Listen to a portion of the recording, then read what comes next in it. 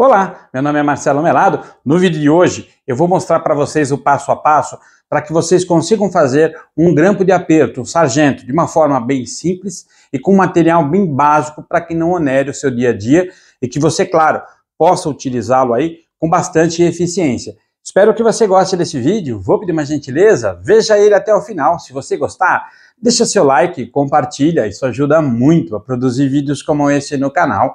Não é inscrito? Inscreva-se, ative o sininho para você receber novas notificações. Lembrando a vocês que todas as quartas-feiras em Dúvidas de Carpintaria e segundas-feiras a partir das 21 horas tem vídeo novo no canal. Bora pro vídeo?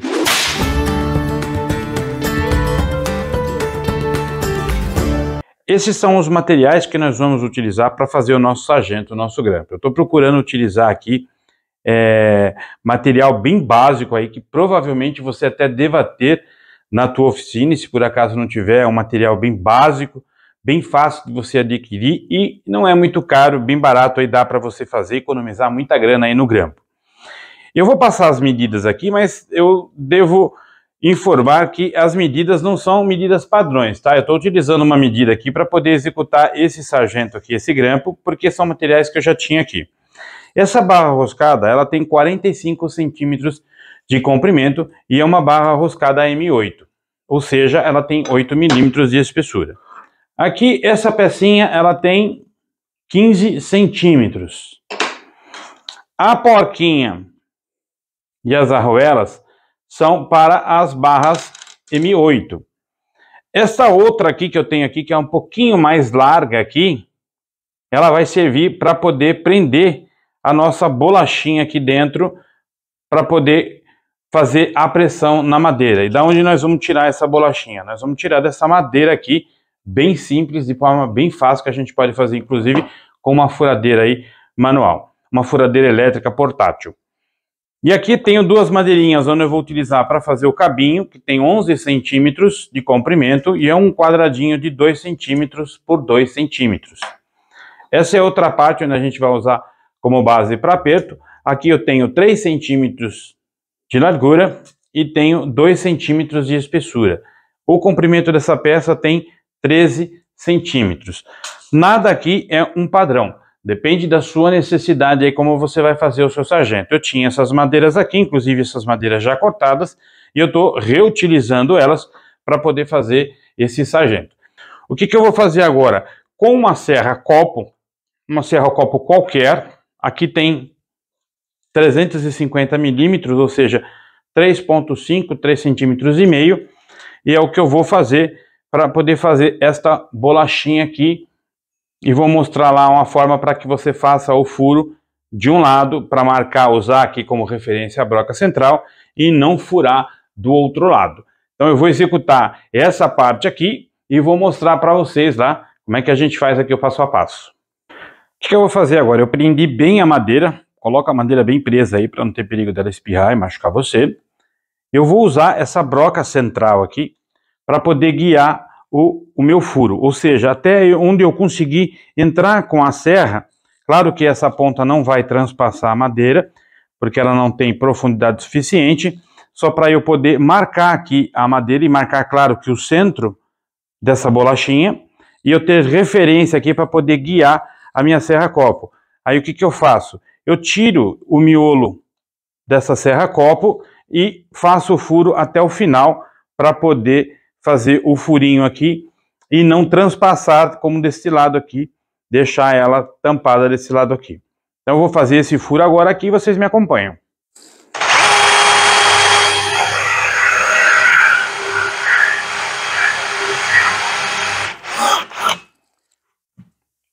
Eu já tenho agora um guia aqui para eu poder fazer o furo com a serra copo e ela não transpassou.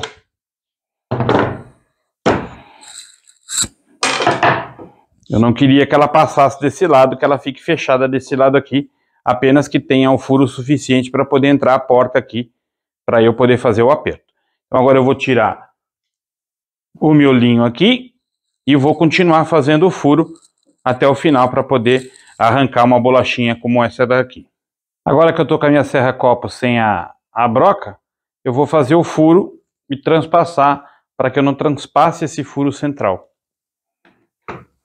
E eu já tenho aqui uma referência para poder continuar meu furo.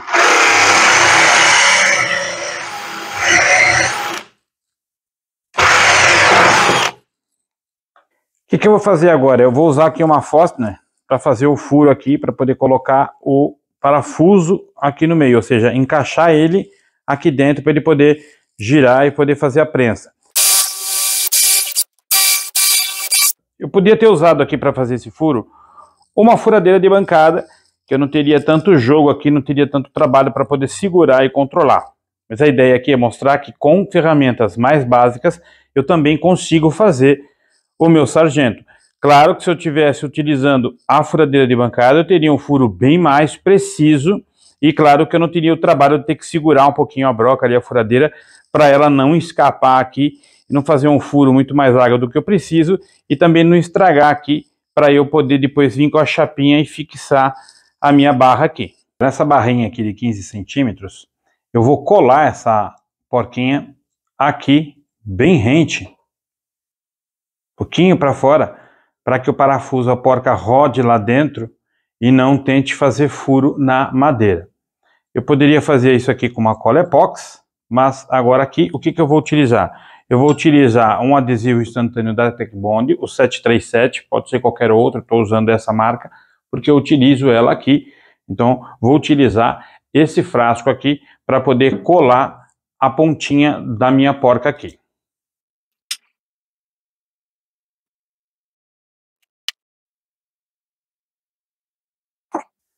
Deixar um pouquinho para dentro para que essa porca fique lá no parafuso. E nesse caso aqui, para poder acelerar o processo, eu vou usar um QFS para poder acelerar a secagem da cola. O que, que eu vou fazer? Eu vou colocar ela aqui dentro, ela está girando, ou seja, ela tem que ter essa flexibilidade aqui dentro, esse jogo, para que de repente ele pegue uma peça na lateral ele não quebre. Então eu preciso um pouco desse jogo aqui e dessa facilidade de giro. O que, que vai acontecer agora? Eu fiz aqui dois furinhos com uma broca de 3 milímetros para poder colocar um parafusinho para poder prender um pouco mais essa parte aqui. E aí aqui eu solto e prendo ela aqui nessa parte aqui para continuar, claro, que com jogo e continuar girando. Eu vou fazer uma pressão aqui para poder segurar essa parte para que quando eu traga novamente o meu gancho de aperto aqui, ele venha trazendo e não solte aqui da peça. Então, essa arruela, ela vai servir para poder prender aqui essa parte, para que quando eu venha mexer, ela não solte aqui, não escape desta bolachinha aqui. Eu tenho lá no canal, vou deixar o link na descrição para que vocês vejam como fazer esse gabarito aqui, para eu poder prensar aqui a madeira e poder fazer o furo o mais reto possível.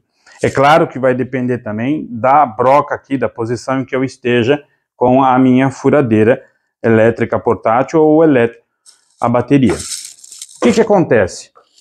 Eu vou usar aqui a própria madeirinha aqui que eu vou utilizar como aperto para poder calcular aqui o centro desta madeirinha. Pronto. Aqui eu tenho o centro da minha madeirinha.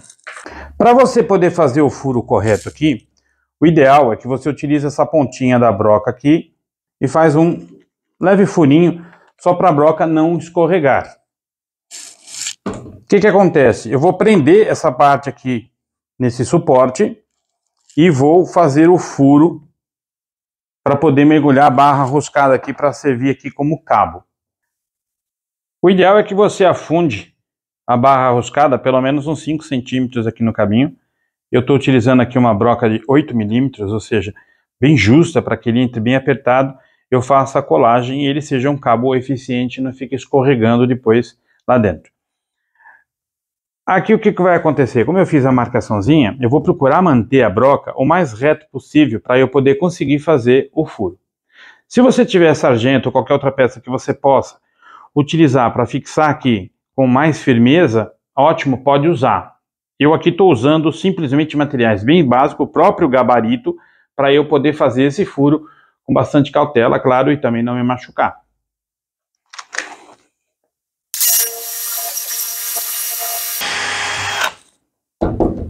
Furo bem centralizado.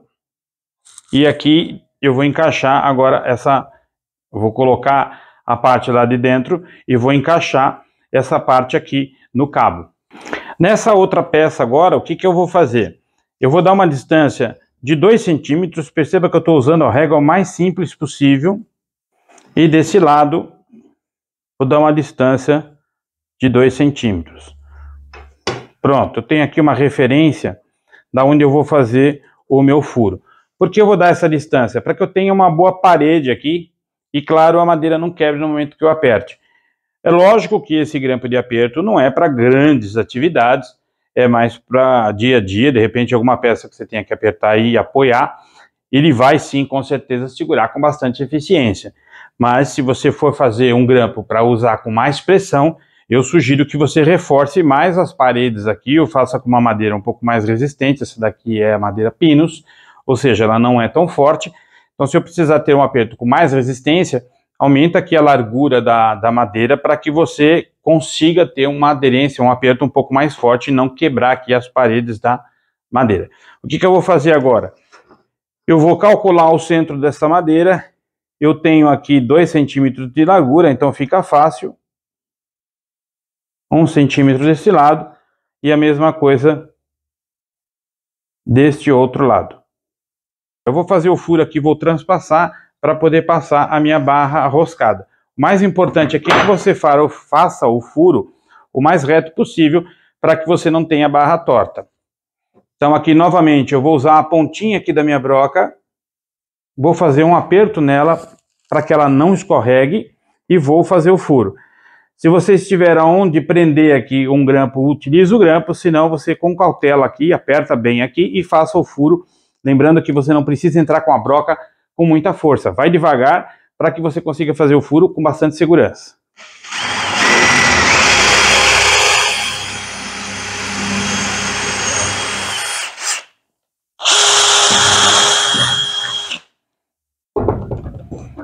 E aqui eu consigo transpassar aqui a minha barra roscada. Desse lado eu vou colocar duas roelas, uma em cima e uma embaixo, eu vou colar ela aqui, para que quando eu faça o aperto, ela não quebre também a madeira e ela pegue os ganchos aqui da barra roscada e prenda para que eu tenha aderência em todos os sentidos. O que, que eu vou fazer agora desse lado aqui? Eu vou calcular também o centro aqui, vou fazer um furo com a broca Fostner, que é de um centímetro e meio, suficiente para poder mergulhar aqui a porca para que eu tenha o quê? Rosca na hora de eu poder girar e ir apertando, usando o gancho de aper, aper perdão, para que quando eu coloque aqui a minha barra roscada, eu tenha gancho para poder apertar com mais força. Eu posso colocar a porca dos dois lados, mas aqui o objetivo é facilitar e fazer com que você consiga utilizar esse gancho da forma mais simples possível. Existe também aqui umas porcas prolongadas, que você pode utilizar e ela vai durante toda a extensão aqui para você poder fazer esse aperto aqui. Nesse caso, eu só vou utilizar uma porquinha ou você pode também usar uma porca garra dos dois lados, tanto de um lado como do outro para dar mais força. Mas a ideia é fazer o mais simples possível para que você consiga utilizar o seu grampo. Não sei se vocês conseguem perceber, mas ali dentro tem um furo, uma pontinha onde eu vou usar a minha broca para referência e transpassar o furo aqui agora. Vou tirar a fósfora, vou colocar novamente a broca. E aí eu vou usar esse centro como referência para fazer o furo e transpassar. Para poder encaixar a porca, eu vou fazer a colagem dela aqui. Vou usar a mesma cola 737, que é para multiuso. Você consegue ter tempo suficiente para poder trabalhar aqui e colocar a porca aqui dentro. E vou usar um acelerador aqui para secar mais rápido. Eu vou posicionar aqui a minha barra roscada dentro desse furo.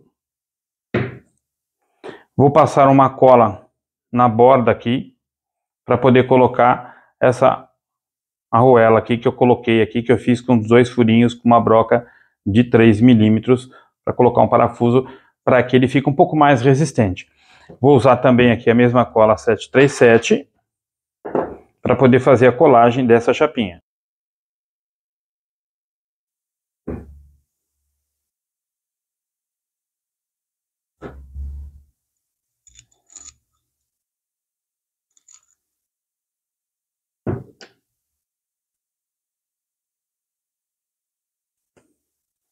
Vou usar um grampinho aqui para poder pressionar essa cola aqui e poder secar ela. Foi só um pouquinho aqui o grampinho, só para poder secar, coisa realmente de segundos. O que eu vou fazer agora? Eu vou pegar dois parafusos e vou parafusar essa peça para que eu tenha mais resistência dela aqui dentro da minha, da minha madeira.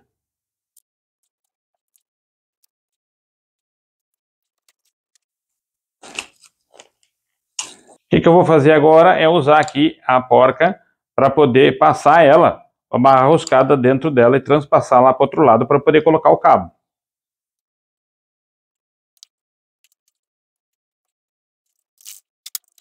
Eu aqui estou usando o canto vivo. Se você quiser passar uma tupi ou passar uma lixinha só para quebrar essas pontas aqui, para o cabo ficar um pouquinho mais anatômico, não tem problema, você pode até fazer eu até faria, porque ficaria um pouquinho mais anatômico, fica mais confortável de fazer. Estou fazendo aqui com vocês o exemplo, então para eu aqui, esse cabo serve para eu poder fazer a demonstração. Agora eu vou pôr a cola aqui dentro, vou rosquear até que eu consiga fechar essa parte e essa parte eu consiga terminar do meu grampo. Quanto eu vou envergar agora aqui? Uma dica é você pegar aquela sua primeira parte que a gente fez aqui e calcular mais ou menos essa mesma distância aqui de envergadura para que você consiga alcançar o centro aqui desse pino ou passar um pouquinho. Não tem um padrão, é, eu vou utilizar esse padrão, eu vou envergar até que ela chegue aqui no final dessa buchinha para eu poder fazer o aperto com bastante precisão. Eu vou pôr esta parte de baixo a parte que eu vou envergar, ou seja, eu vou usar mais alavanca aqui para poder envergar. Eu vou apertar com bastante força, deixar ela bem presa para que ela não escape e me machuque, claro. O que, que vai acontecer agora? Eu vou fazer pressão para poder envergar a barra. O ideal é que você concentre a pressão bem aqui nesta parte, ou seja, na parte de baixo, e a parte de cima você usa apenas para empurrar para poder baixar. É, tá muito firme a barra, lembrando que é uma barra aqui de 8 milímetros, ou seja, eu consigo fazer essa envergadura, mas se eu precisar de repente usar um martelo uma marreta e ir batendo aqui, não tem problema não, vai batendo até que você consiga fazer a envergadura dela aqui, ou pelo menos chegar próximo de 90 graus, para que você tenha uma boa pega ali na hora de apertar. Então o que eu vou fazer agora? Eu vou começar a envergar a barra, vai aos poucos, não vai com muita força para você também não se machucar. Passei um pouquinho de 90 graus, não tem problema nenhum. Eu volto ela mais um pouquinho aqui, vai ajeitando. E agora eu vou soltar essa minha peça da morsa. Pronto, soltei. Eu tive aqui a minha envergadura. Ficou mais ou menos na distância aqui da, da minha buchinha. Quando eu colocar aqui, Ó, passou um pouquinho, não tem problema. Se você quiser cortar, pode cortar para alinhar, mas se quiser deixar assim também, não tem problema nenhuma, dá para você utilizar desta forma. Bom, lembra que eu disse logo lá no início, o que, que eu vou fazer? Eu vou colocar duas roelas, uma aqui, uma aqui em cima e uma aqui embaixo, para poder ter firmeza na hora de eu fazer o aperto e ele não desgastar aqui essa parte de madeira ou até mesmo quebrar. Vou dar um pouquinho mais de resistência. Lembrando que essa parte da barra, ela vai ficar solta aqui, tá? Então você pode utilizar também outros tamanhos. De repente, se quiser um tamanho menor, fazer um grampinho menor, depende aí da tua necessidade.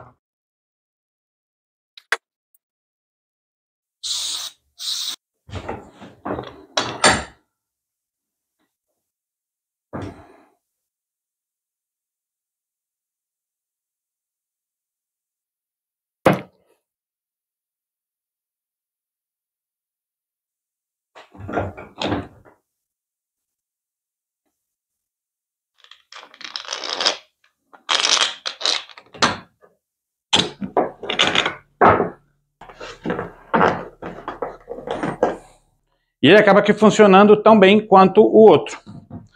E, de uma certa forma, você acaba que utilizando ele da mesma forma, ou seja, você utiliza aí, usa recursos bem básicos, bem fácil aí, para poder utilizar os grampos e ter um custo mais barato, claro, e você acaba que utilizando ele no teu dia a dia, com o resto aí, com sobras de projetos que você tem aí, uma barra roscada, posso utilizar uma barra roscada mais forte? Posso utilizar uma barra roscada mais forte, não tem problema nenhum, depende da tua necessidade. Posso aumentar o cabo, posso diminuir a haste. Fica ao teu critério, veja a sua necessidade. Eu espero que eu tenha conseguido passar aqui o básico para que você aperfeiçoe aí o seu dia a dia e que utilize esses grampos aí, faça mais grampos para você utilizar no seu dia a dia e claro, não onerar aí com custo com grampo. Consegue fazer aí um grampo desse daqui com 15, 20 reais, bem barato e não onera o teu dia a dia.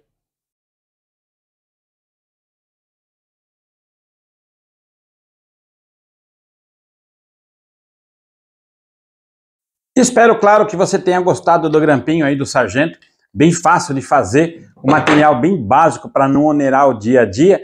E, claro, de uma forma bem simples, para que a gente consiga aí adaptar no dia a dia, porque a gente sabe que esses grampos não são baratos. Então a gente acaba aqui tendo que investir um valor aí para poder adquirir uma quantidade adequada. E por incrível que pareça, esses grampos parece que quanto mais você tem, mais falta. Ou seja, não tem fim. Então a gente acaba que utilizando alguns recursos, alguns métodos aí, para poder utilizar e poder fazer os apertos das madeiras.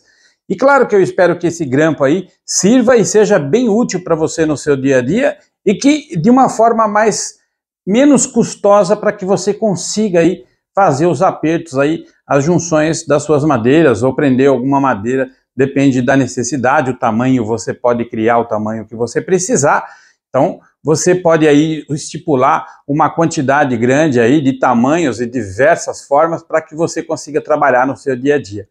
Do mais, espero que você tenha gostado desse vídeo. Se você gostou, deixa seu like, compartilha, isso ajuda muito a produzir vídeos como este no canal. Não é inscrito? Inscreva-se, ative o sininho para você receber novas notificações. Lembrando a vocês que todas as quartas-feiras em Dúvidas de Carpintaria e segundas-feiras, a partir das 21 horas, tem vídeo novo no canal. Até a próxima!